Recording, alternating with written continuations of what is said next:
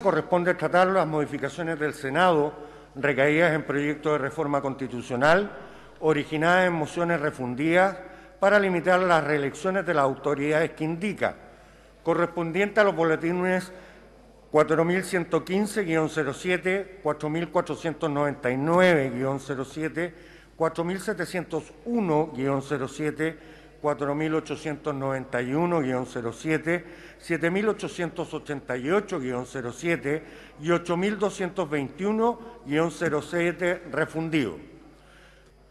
Rinde el informe de la Comisión de Constitución, Legislación, Justicia y Reglamento el diputado señor Matías Walker Prieto. Tiene la palabra, señor diputado. Muchas gracias, señor presidente, honorable Cámara. En representación de la Comisión de Constitución, Legislación, Justicia y Reglamento, informo en tercer trámite constitucional con urgencia suma el proyecto de reforma constitucional para limitar la reelección de las autoridades que indica. Este proyecto se origina en seis mociones que fueron aprobadas por esta Cámara de Diputados el año 2012 y que fue objeto de enmiendas en el Senado. Para cumplir el mandato dado por la conformación, para cumplir el mandato dado por la corporación conforme con el artículo 120 del reglamento, mandato que recuerdo a la honorable sala tenía por propósito explicar y fijar el contenido y alcance de las reformas introducidas por el Senado, la Comisión efectuó dos sesiones y recibió las opiniones de los constitucionalistas, señores Patricio Zapata, Jorge Correa, Gabriel Osorio, Francisco Zúñiga y Fernando Atria. Como también se escuchó al señor secretario general de la Cámara de Diputados, don Miguel Landeros, a cuyas opiniones me referiré sucintamente más adelante. Respecto a las enmiendas introducidas por el Senado al proyecto, me referiré únicamente a aquellas que son de fondo. Así, la primera de este tipo establece que para efectos de la limitación a la reelección se entenderá que los diputados y senadores han ejercido su cargo durante un periodo cuando han cumplido más de la mitad de su mandato. Otra enmienda extiende el considerar que se ha cumplido el periodo cuando han ejercido más de la mitad del respectivo mandato a los gobernadores regionales, alcaldes y concejales. Luego el Senado introduce a los alcaldes entre aquellas autoridades que no pueden ser elegidos sucesivamente por más de dos periodos. Esto crea una nueva situación compleja porque existe un cronograma legal encaminado a las elecciones de alcaldes que ya está en marcha con varios de sus plazos ya cumplidos. Finalmente, una enmienda muy relevante es aquella que elimina la norma transitoria que contenía el proyecto aprobado por la Cámara de Diputados, que como se podrá apreciar más adelante, ha producido el efecto de darle aplicación inmediata a las normas de esta reforma. En efecto, el proyecto introducía una disposición transitoria vigésimo sexta de la Constitución, la cual establecía que las modificaciones introducidas en los incisos segundo del artículo 51, diputados y senadores, segundo del artículo 113, consejeros regionales, y primero del artículo 119, concejales, serán aplicables a partir de las siguientes elecciones parlamentarias de consejeros regionales y de concejales respectivamente entendiendo para los efectos señalados en las disposiciones citadas que el periodo en actual ejercicio correspondía al primero. En lo que se refiere a los expositores, el informe evacuado contiene sus opiniones en forma íntegra, razón por la cual solo me referiré a ellas en forma sumaria. El académico señor Jorge Correa Sutil expresó que la normativa permanente aprobada por el Senado, al suprimir la disposición transitoria aprobada por la Cámara de Diputados, es aplicable a los parlamentarios actualmente en ejercicio, principalmente porque se trata de normas de derecho público que rigen in actum, es decir, de inmediato. Además, porque la norma no distingue entre reelecciones pasadas y futuras y porque no hay retroactividad al aplicar la norma a parlamentarios en ejercicios. Estos no tienen, no tenemos un derecho adquirido a ser reelegidos, es solo una mera expectativa. El académico manifestó que los senadores, al suprimir la disposición transitoria, buscaban, aunque de modo deficiente y erróneo, evitar su aplicación a las autoridades en actual ejercicio, de modo que al eliminar la disposición transitoria aprobada por la Cámara de Diputados, produjeron un efecto por ellos no deseado, cual es que toda la normativa de esta reforma se aplique de inmediato, generando una situación compleja. No obstante que poner énfasis en la intención subjetiva del legislador es una tesis abandonada hace largo tiempo, de todas formas advierte que se podrían producir eventuales conflictos interpretativos y en caso de conflicto deberá resolver el Consejo Directivo del CERVEL o, si se impugna su resolución, el Tribunal Calificador de Elecciones. Ante ello, expresa el profesor Jorge Correa, sería aconsejable la formación de una comisión mixta que dote de plena certeza al sentido y alcance de la legislación que se va a aprobar.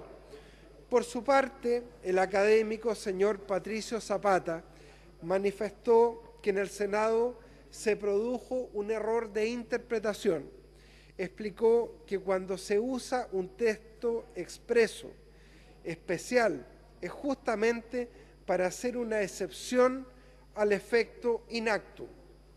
Las únicas dos retroactividades que repugnan a la constitución política son la penal y respecto a las reglas sobre los modos de adquirir el dominio.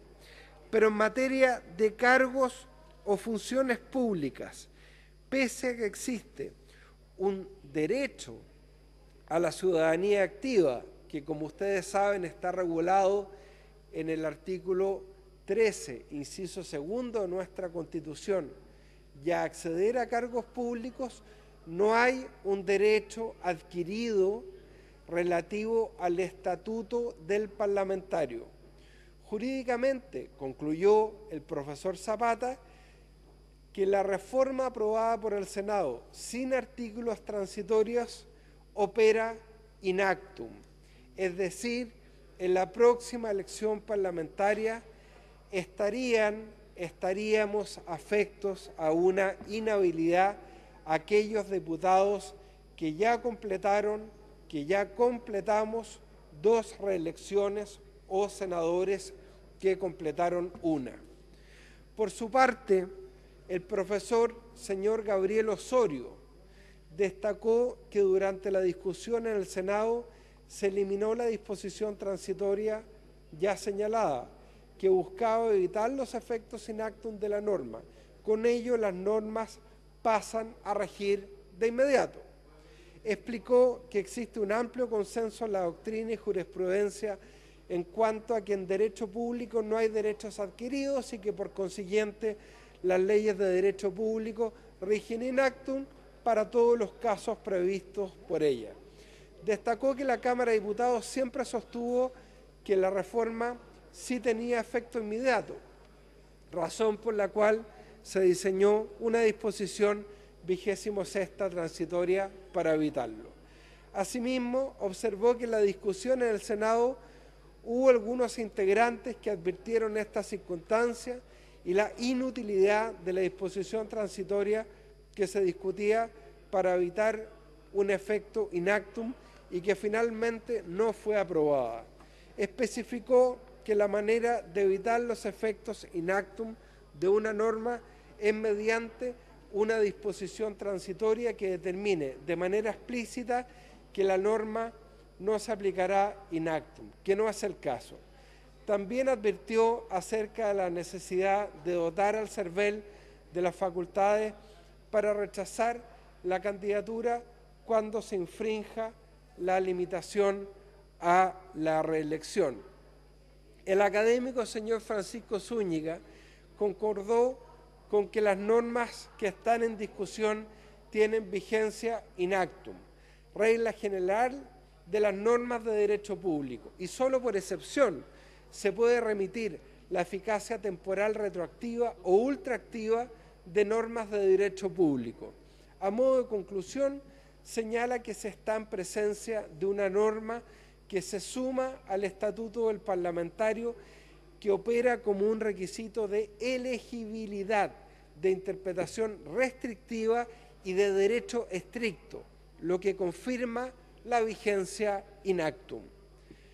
Finalmente, el académico señor Fernando Atria explicó respecto a los cargos de representación política que no hay derecho al cargo, no hay derechos fundamentales que impidan dar a la ley efecto retroactivo. Esto es por ello que las normas del caso rigen inactum.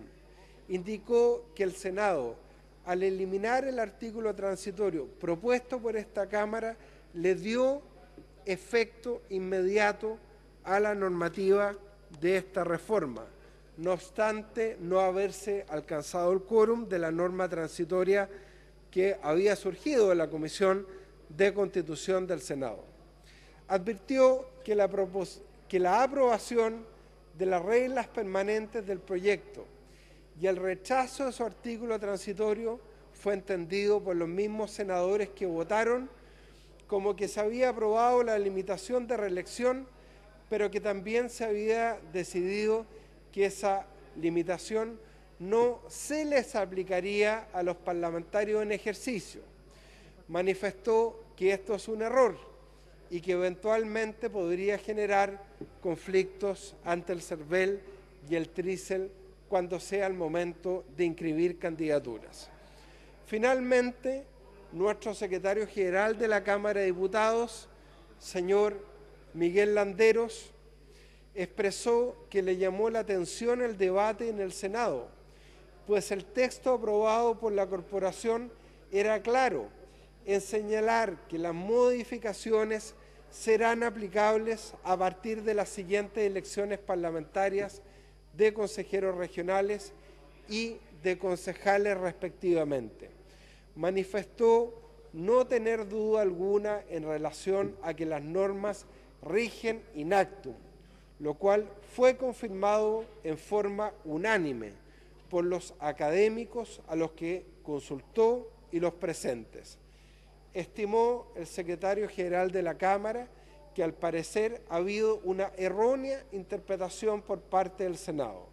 Respecto a las facultades del CERVEL, precisó que se deberán efectuar las modificaciones legales, que puede ser parte de una reforma a la ley orgánica constitucional del CERVEL correspondientes para facultarlo para rechazar candidaturas que infrinjan el límite de reelección. No obstante, estimó el secretario general de la Cámara, don Miguel Landero, que la reforma constitucional es autoejecutable en el sentido de que rigen inacto.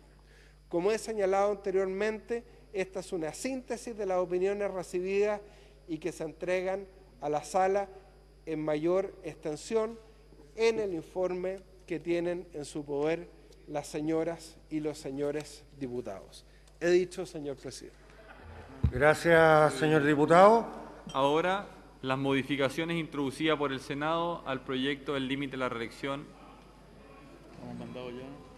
Están las minutas de votación en sus pupitres. En votación, las enmiendas introducidas por el Senado respecto del número 1 del artículo único del texto aprobado por la Cámara de Diputados, cuya votación separada ha sido solicitada, que consta en las páginas 1 del comparado y que requiere para su aprobación del voto favorable de 93 diputadas y diputados. En votación.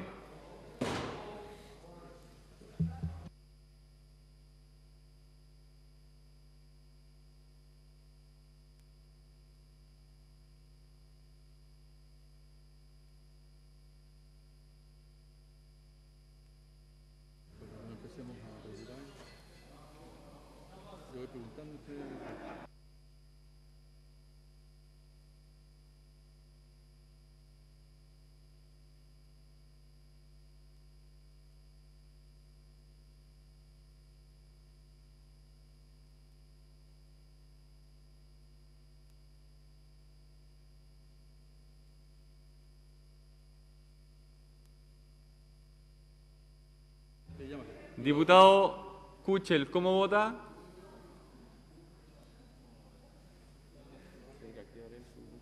active su micrófono, presidente. Active su micrófono, por favor.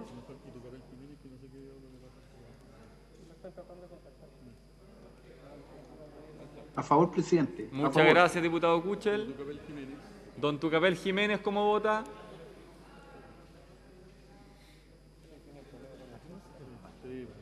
A favor, presidente. Muchas gracias, diputado Jiménez. Ya, presidente. Resultado de la votación. Por la afirmativa, 132 votos, 14 en contra, 6 abstenciones. Aprobado. En votación, las enmiendas introducidas por el Senado respecto del numeral 2 del artículo único del texto aprobado por la Cámara de Diputados, cuya votación separada ha sido solicitada, que consta en las páginas 3 y 4 del comparado y que requiere para su aprobación el voto favorable de 93 diputadas y diputados. En votación.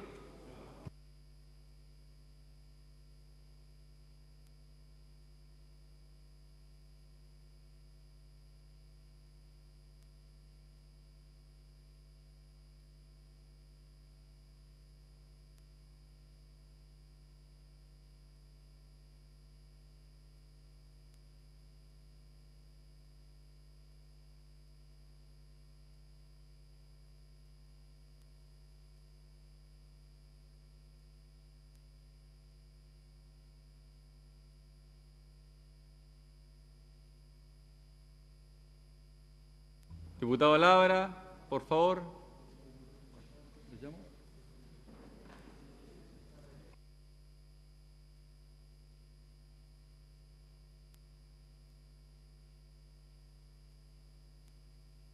Diputado don Ramón Barros, ¿cómo vota? A favor, presidente. Much- muchas gracias. Diputado señor Ramón Gallegui. Diputado don Ramón Galleguillos, ¿cómo vota?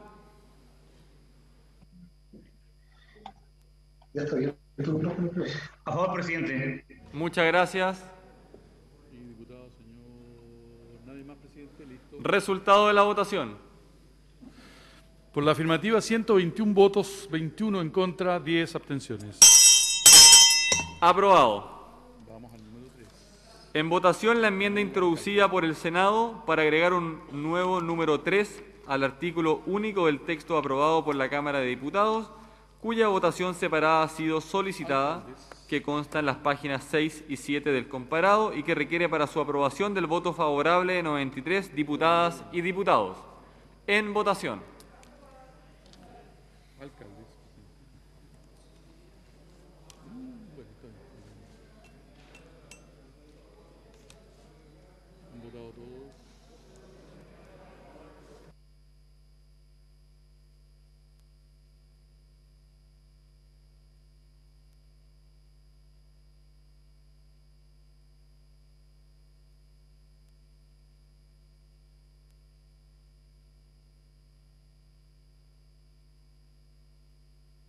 Han votado todas las señoras y señores parlamentarios. No tiene señal. Ya voy a ver que está con pantalla verde. Berger. Diputado don Bernardo Berger, ¿cómo vota? Favor. Muchas gracias. Diputado Kuchel, ¿cómo vota? En contra, presidente. En contra, presidente. Muchas gracias. Diputado, señor Mario Venegas. Diputado Mario Venegas. A favor, señor presidente. Muchas gracias. Diputado, señor Tucapel Jiménez. Diputado Tucapel Jiménez, ¿cómo vota? A favor, presidente. Muchas gracias. Listo, presidente. Resultado de la votación. Por la afirmativa, 109 votos, 31 en contra, 12 abstenciones. Aprobado. En votación, las enmiendas introducidas por el Senado respecto del número 3 del artículo único del texto aprobado por la Cámara de Diputados, cuya votación separada ha sido solicitada, que consta en las páginas 9 y 10 del comparado, y que requiere para su aprobación el voto favorable de 93 señoras di- diputadas y diputados. En votación.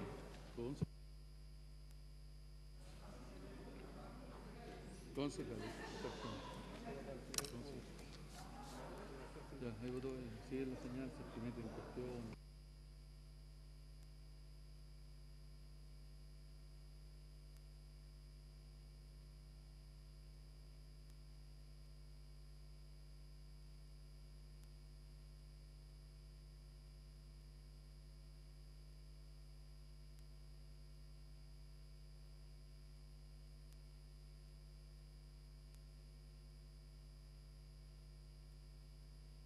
Diputado Alinco, por favor, encienda su video. Ya, me falta Castro con el José Miguel. José Miguel. Castro, José Miguel tiene que votar, no ha votado. Don José Miguel Castro. Tiene que votar apretando la aplicación. Creo que le llegó.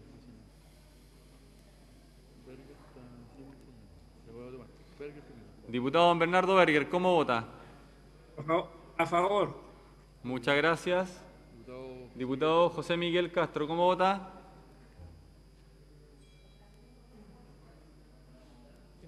Contra, presidente, contra. Gracias. Eh, me falta Fidel Espinosa, ¿tiene video? Ya, Fidel Espinosa. Diputado don Fidel Espinosa, ¿cómo vota?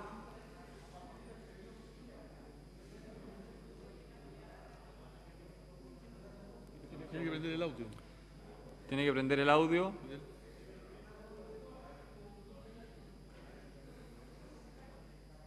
Fidel Espinosa. Tiene que iniciar en su audio. Diputado Espinosa, tiene que iniciar usted su audio.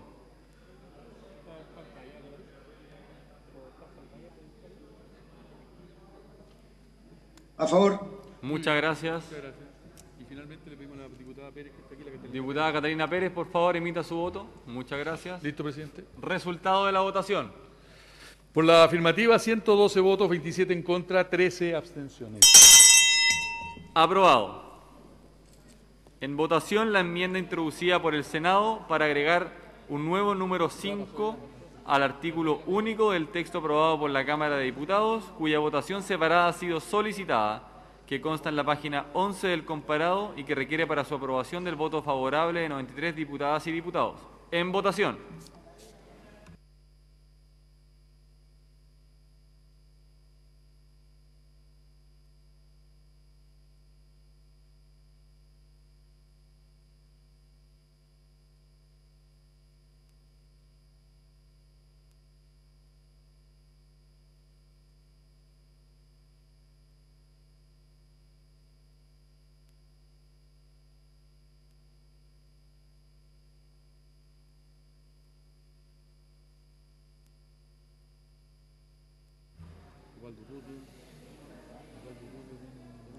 Diputado Labra, por favor.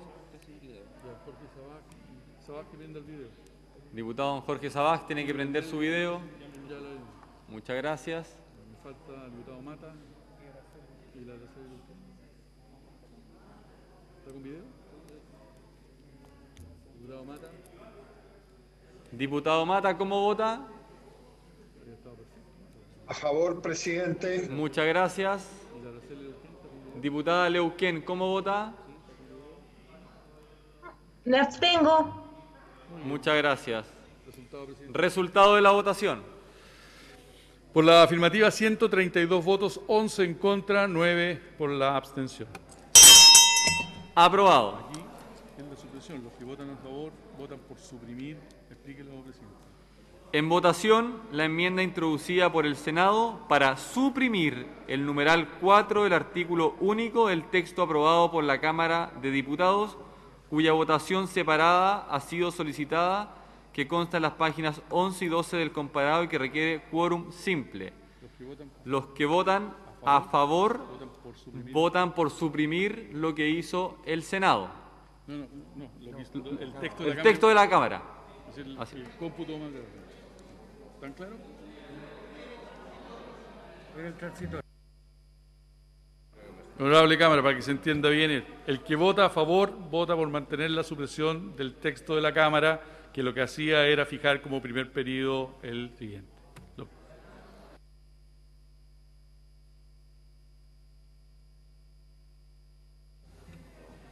En votación. Lo voy a explicar de nuevo para que se entienda clarito. Los que votan a favor votan para que no haya artículo transitorio, eh, como el que tenía la Cámara. Los que votan en contra votan por mandar el proyecto a mixta y que se vea un, un transitorio. En votación.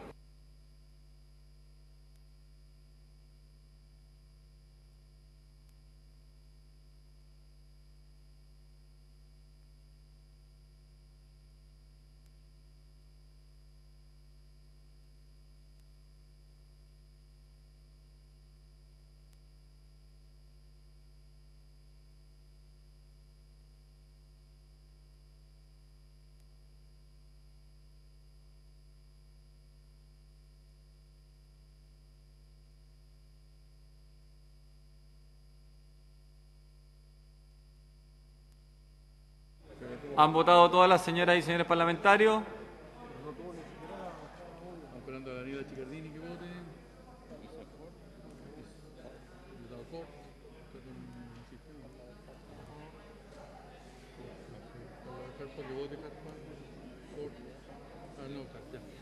Voy a llamar a Cort. Diputado don Isa Cort, ¿cómo vota? Favor. Gracias. Diputado don Luis Pardo, ¿cómo vota?